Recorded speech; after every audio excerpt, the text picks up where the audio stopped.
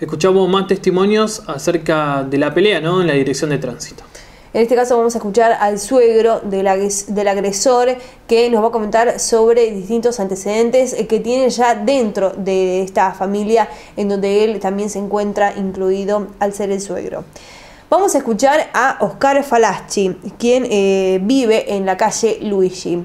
Él nos va a estar comentando y presten atención, porque eh, según lo comentado ya se radicaron varias denuncias de eh, esta misma persona, en las cuales se identifican amenazas, estafas, diferentes peleas, que también lo estuvo comentando Horacio Lacua, pero como decías previamente, el día lunes estaremos hablando con la persona que eh, supuestamente realizó los golpes hacia Horacio y que apoya ¿no? la postura ¿no? del director de tránsito. Escuchamos entonces las palabras de Oscar Falaschi.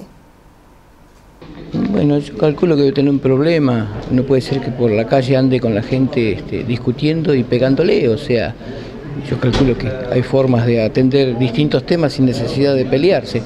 El tema mío puntual fue venir y presentarme como testigo porque yo ya tengo un problema con él, una estafa.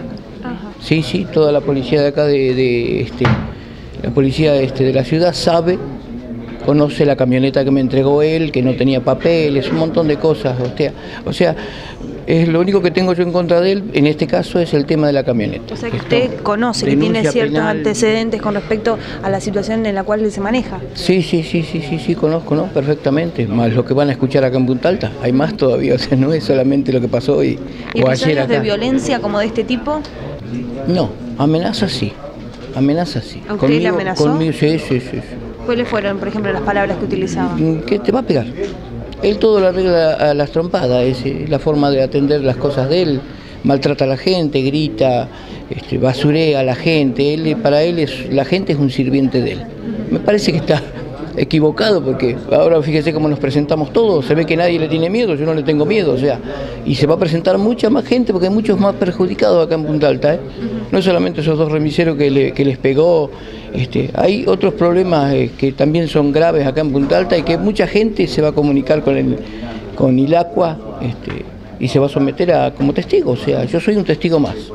Bueno, y, ya realizó la denuncia con respecto a lo, lo ocurrido con usted, con el tema de la estafa. todo en camino, sí, sí, está todo cree que falta una falta grande por parte de la policía que este hombre todavía siga realizando sus eh, episodios de violencia, amenazas? Lo que pasa es que no hace nada, nada grave, nada grave, ¿me entiende? Pero no es la forma de conducirse en la, en la vida, o sea, más allá de que uno tenga problemas con una persona no tiene por qué ir y pegarle, o sea, me parece que eso es lo último. Para él es lo primero y es mal, eh, eh, malintencionado, él lo dijo bien clarito, este, Ilacua es malintencionado, porque tiene un problema, para mí está problema en la cabeza tiene, ¿me entiendes?